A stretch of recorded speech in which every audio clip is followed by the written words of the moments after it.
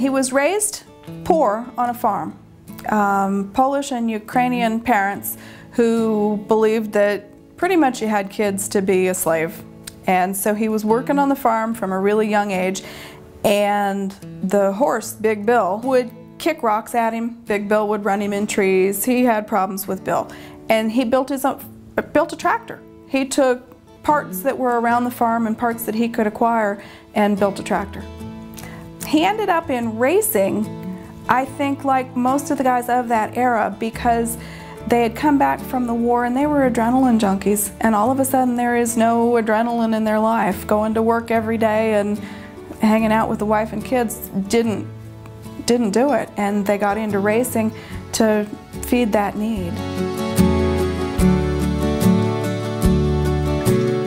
For dinner at night during race week in Daytona Beach, we would have the Unsers, the Allisons, um, AJ Foyt, Herb Fishel. We had these luminaries at the dinner table because we had we were prepared for up to 10 people. Any given race night, if it was going to be more than 10, then my mom had he was going to call her and give her advance notice. But we could have a house full of people.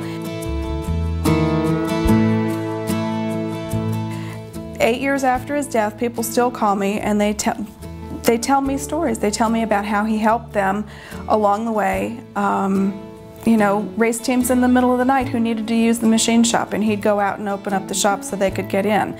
Guys that had an engine blow and he gave them one that he had on the floor for them to use. And he's not the only one. There's so much that a lot of those racers did to help each other out. It was a whole different culture.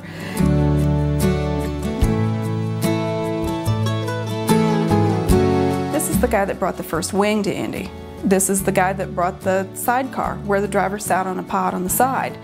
Um, it let racing let his imagination run wild, especially Indy racing. It let him create things and as an offshoot, I mean, he worked on spark plug projects, he worked on manifold projects, he worked on variable ratio power steering, he worked on braking technology that's in everybody's cars today. But because he was working under the guise of various motor companies at the time, I mean, he danced all over. He was with Chevy, he was with Ford, he was with Pontiac. As he danced in and out of those guys, he was working under the auspices of the motor company, so his inventions were credited to them.